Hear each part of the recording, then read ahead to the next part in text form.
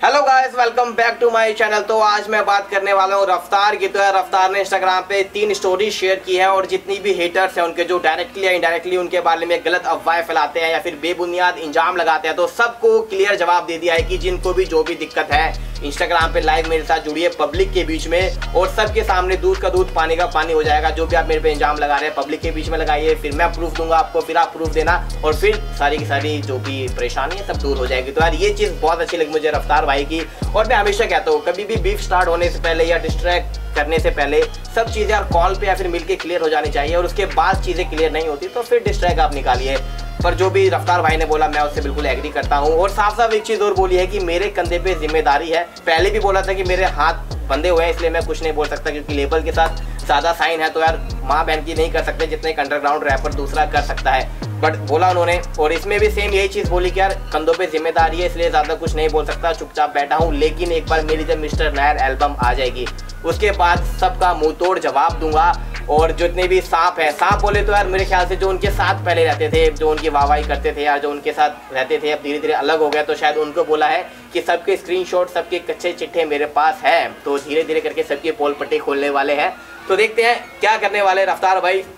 सारी की सारी चीज़ें क्लियर हो जाए तो सही है, क्योंकि यार काफ़ी ज़्यादा एलिगेशन लोग रैपिंग के मामले में। बात करूँ तो यार जब रैप सॉन्ग निकालते तो रफ्तार भाई के बारे में डायरेक्टली इनडायरेक्टली कुछ ना कुछ गलत बोल देते हैं, जिससे कि यार एक मेंटेलिटी थोड़ी डिस्टर्ब हो जाती है रफ्तार को लेके, जो पर्सनली कोई इसके फ़ैन होंगे तो शक में आ जाते होंगे हाँ यार, लग रहा है ये भाई सच बोल रहे हैं रफ्तार भाई के बारे में। बट मुझे लग रहा है अब रफ्तार भाई कुछ ना कुछ सबकी जवाब देने वाले हैं, और साथ साथ बोला है जितने भी क्लाउड रैपर है, जो मार काट की बात करते हैं, उनको यही बोला है कि यार, गाने ऐसे गाओ जो हम रियल में कर सकें। तो उनको भी रिप्लाई दिया है तो देखते हैं क्या करने वाले और मुझे लग रहा है कुछ ना कुछ हिप हॉप के लिए वर्ल्ड लेवल पे कुछ ना कुछ इंडिया के अंदर करने वाले हैं, रफ्तार भाई। तो यार, बहुत बधाई है उसके लिए, पूरा पूरा सपोर्ट करेंगे हम भी। तो देखते हैं क्या कुछ होने वाला है। और यार, मुझे लग रहा है रफ्तार भाई को यार लोग डिस इसलिए करते हैं क्योंकि यार रफ्तार भाई की भी गलती है। क्योंकि क्या है, कोई भी रैपर है, रफ्तार को कुछ गलत बोलेगा तो तुरंत उसका रिप्लाई भी कर देते हैं तो मुझे लग रहा है कि यार, ऐसी चीज़ों को ना इग्नोर कर देना चाहिए। अगर स्टार्टिंग के टाइम पे जो बीफ स्टार्ट हुई थी एमी वे की और उसकी तो उसी वक्त ही इग्नोर कर देते ना।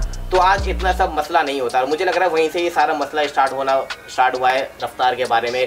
और दूसरी चीज़ ये है कि यार, काफ़ी ज़्यादा ऐसे लोग हैं जो रफ्तार भाई के बारे में इंडायरेक्टली कुछ ना कुछ बोलते हैं। जैसे अभी रिसेंट गाना आया था लिल गोलू का तो उसमें भी काफ़ी लोगों ने बोला कि भाई, रफ्तार भाई के बारे में कुछ ना कुछ गलत बोला है। इंडायरेक्टली नाम नहीं लिया, लेकिन गलत बोला है। पब्लिक तो यार कुछ भी जोड़ देती है और साथ साथ में अभी इक्का का गाना भी आया था, दो तो उसमें भी बोला कि यार दोस्ती ऐसी होती है, वो होती है तो उसमें भी लोगों ने बोला कि यार ये जो है, रफ्तार भाई के बारे में गलत बोला है। तो डायरेक्टली कोई नहीं बोलता इनडायरेक्टली बोलता तो शायद मुझे लग रहा है कि उन सब के लिए हो सकता है।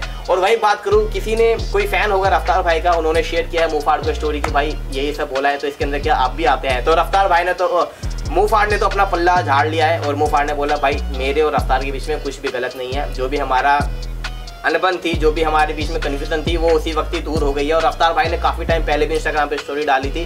कि मुफाड़ और मेरे बीच में कुछ भी ऐसा गलत नहीं है। तो भाई, उसमें मसाला कुछ नहीं मिलने वाला है। और ये सेम स्टोरी फिर किसी ने स्क्रीनशॉट भेजी होगी बियड गैंग को, क्योंकि बियड गैंग ने जब एक बार गाना निकाला था तो उसमें काफ़ी सारी स्क्रीन शेयर की थी और इंस्टाग्राम स्टोरी पे भी स्क्रीन शेयर की थी। तो शायद लोगों को लगा होगा कि यार बियड गैंग के बारे में भी बात की होगी? तो बियड गैंग ने भी पल्ला झाड़ दिया है और बियड गैंग ने भी बोल दिया कि भाई, मेरी रफ्तार से बात हो चुकी है और मेरा और रफ्तार का कुछ मसला नहीं है। और जितने भी जो लोग हैं, जितने भी फैंस हैं, जो मसाला ढूँढने की कोशिश कर रहे हैं हम दोनों के बीच में तो उनके बीच में भी कुछ मसाला नहीं मिलने वाला। तो देखते हैं, रफ्तार भाई जब बोलने पे आएँगे तो किस किस को लपेटते हैं डायरेक्टली इनडायरेक्टली हो तो हमें बाद में पता चलेगा।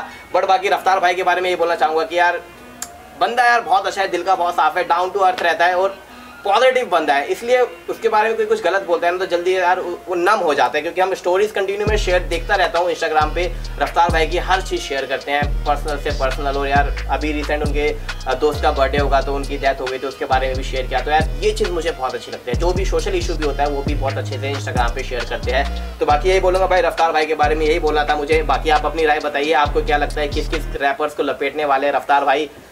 बस बाकी इंजॉय करिए बाय बाय लव यू